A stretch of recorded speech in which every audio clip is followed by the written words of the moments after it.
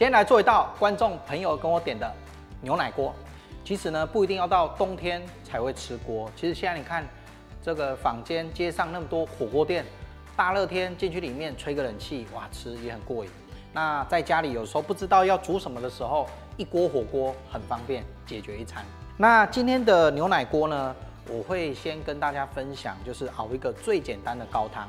像我自己在做火锅，我最喜欢的高汤，就比如说像放一点鸡肉或排骨在里面，这样子呢就是一锅天然高汤，吃得到肉也喝得到这个高汤的鲜甜。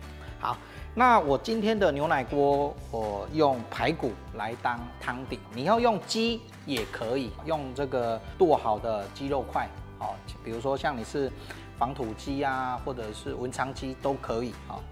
然后排骨。买回来洗干净之后，冷水下下来，因为记得这种有骨头类的，冷水下去烫，烫起来会比较干净。然后加一点盐，啊，盐再烫这个排骨，再去除杂质会更干净。然后我这个排骨呢是到超市买的，这个叫胸排，你看你自己，如果你喜欢软骨哦，或者是猪小排都可以哈，反正你就是挑那种。肉多一点的排骨，因为做完汤底之后还可以吃排骨肉。好，在烫排骨的同时，我来处理南瓜。其实牛奶锅跟南瓜锅基本上是一样食材，差在有加入南瓜泥。栗子南瓜我觉得蛮好吃的，香气也够。有时候我们家里呢，你的南瓜吃不了那么多，你可以买这种小颗的，还蛮方便的。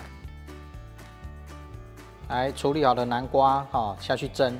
中间放一个小碗，哈，你蒸的时候呢，它的南瓜水会被它吸进去，蒸好的南瓜会比较干松，比较漂亮。那这个南瓜蒸的时间，哈，来冒烟开始算，蒸二十分钟。好，烫好了排骨，直接你把这个泡泡捞去旁边，从它滚的地方拿起来。其实这样烫起来排骨它就很干净了，哈，你就直接拿出来。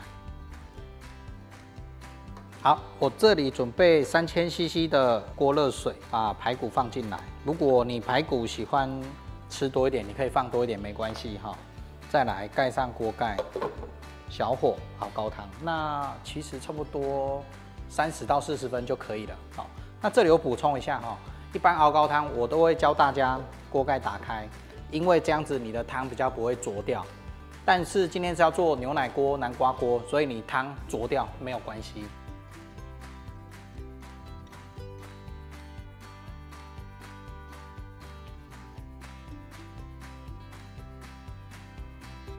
来，你看，照这个方法蒸出来的南瓜非常的干松，然后再加上水分都在这个小碗里面。记得哦，趁热赶快把南瓜拿出来，要不然冷掉之后，它里面的水很有机会，几率很高会再跑出来。来，这高汤也快熬好了哈，我来快速做一下火锅的底料。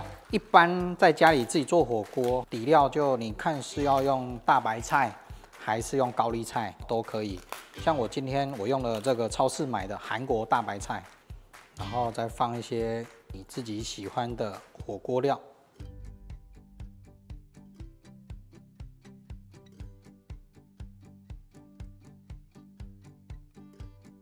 来，那今天火锅的肉片我用的是鸡胸肉，那当然看你自己，如果你喜欢。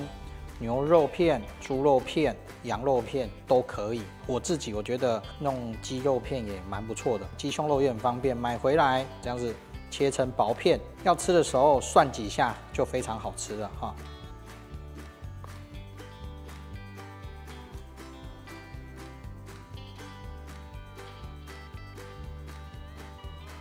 火锅料我们就简单摆一下，摆好之后来。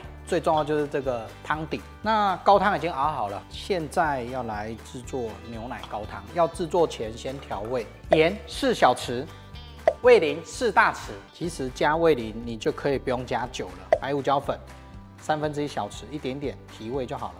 好，这个火锅汤底的高汤熬好了。好，做到这里哈，来我跟大家分享。其实我刚刚在熬高汤的时候，我很想加一个东西，但是因为刚好没有了，就是小鱼干。你放一点点小鱼干一起下去熬这个高汤，做火锅非常的棒，好，你们可以试试看。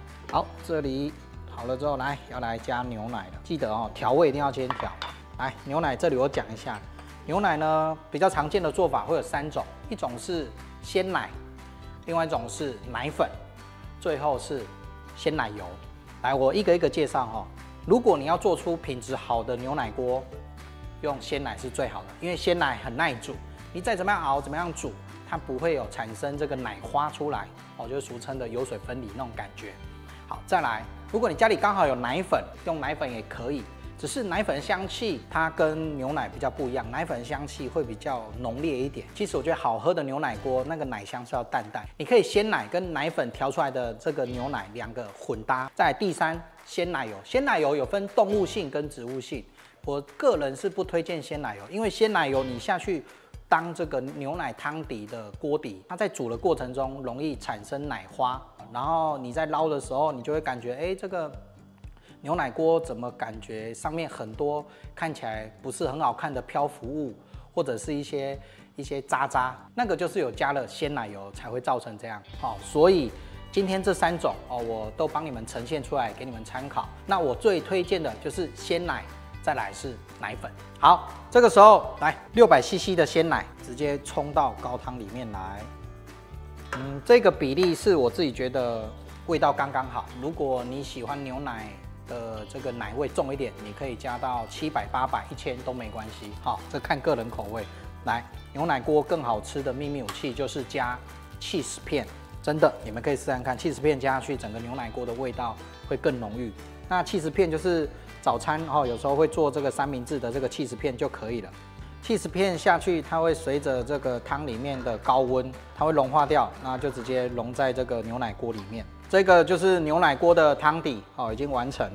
来，再来，这位观众朋友说，哎，顺便可不可以教一下南瓜锅？没问题，南瓜锅就刚刚蒸好的南瓜，你要准备一个这个细的滤网。正常啦哈，是会用一点点牛奶，用果汁机一起下去打成泥。那我现在教你这个方式，就是你不用用到果汁机，或者是有些人家里没有果汁机的，你可以用我这种方式，拿一个细的滤网，然后。把它筛，你就直接这样子筛，把南瓜泥给过筛一下，它出来会更细致。过筛完的这个南瓜泥，来就直接把这个牛奶汤底冲下来，因为这里刚刚有这个南瓜泥，所以我就刚好去洗它，刚刚好。我刚的南瓜泥是加这一边煮好牛奶锅一千 CC 的高汤下来，这样子搅拌之后就变成。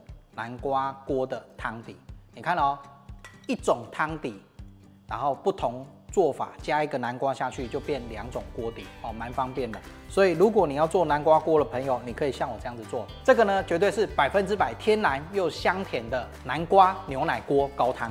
好，再来就直接把好好的这个汤，我们直接加到你的火锅料里面来。今天的牛奶锅完成，做法很简单，只要用对比例材料。你也可以在家里煮出一锅香浓滑顺的牛奶锅，还有这个百分之百天然香甜的南瓜锅。明天晚上你也可以准备材料，在家里自己煮出一锅好吃的牛奶火锅，跟家人一起享用火锅吧。